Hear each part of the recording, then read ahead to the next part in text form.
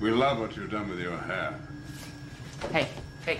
While some of the films were fantastic, the Fox X-Men movies left more than a couple mutants in the dust. Number 1. Rogue. To be fair, Rogue and Logan's relationship was endearing. However, Rogue being mostly concerned with not being able to kiss Iceman without killing him wasn't the Rogue fans expected to see. In the MCU, Rogue could finally fly and knock Sentinels out of the sky. We could even see Rogue absorbing Brie Larson's Captain Marvel's abilities to gain her trademark powers, just like in the comics. The missing factor in the MCU's future Young Avengers plans, Rogue definitely needs a cinematic makeover. Number 2. Jean Grey. This Omega level mutant never got the live action portrayal she deserved. Apart from how Fox infamously dropped the ball with Dark Phoenix, the whole X-Men saga almost demoted Jean Grey to a side character.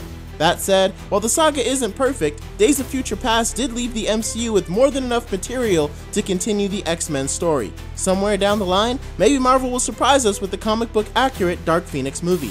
Number 3. Emma Frost. Easily the most underutilized villain in the Fox X-Men franchise, Frost suffered from an overall stiff and one-note portrayal. In reality, Emma Frost is one of the most interesting villains in the comics. She once had a psychic affair with Scott and somehow hid it from Jean Grey. Comic book Emma Frost has also possessed Storm, committing unspeakable things. In the movies, she had an underwhelming role in X-Men First Class and then later died off screen.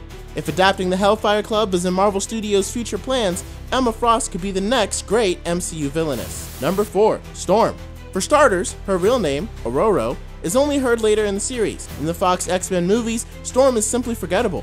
She has some of the best scenes showcasing her mutant powers, but the movies never really revealed Storm's Omega level potential. Storm can literally manifest rain inside a room while staying dry herself. The next time an alien fleet invades Earth in the MCU, Storm can just disable their ships with solar winds. The Queen of Wakanda's MCU debut is long overdue. Number 5. Cyclops. Scott Summers suffered the most from Logan taking the spotlight. He wasn't just relegated to a side character status like his fellow X-Men, throughout most of the franchise, the team's supposed leader mostly played like a jealous boyfriend.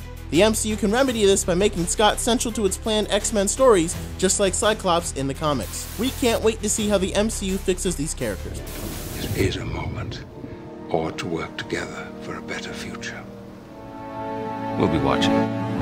Thank you so much for tuning in to The Blerd Wire. Don't forget to leave your thoughts below, and thank you again for joining us. We'll see you next time.